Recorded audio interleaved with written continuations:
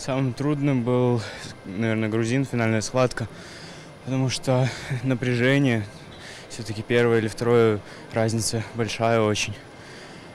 И также был сложен соперник из России во второй схватке. Организация хорошая.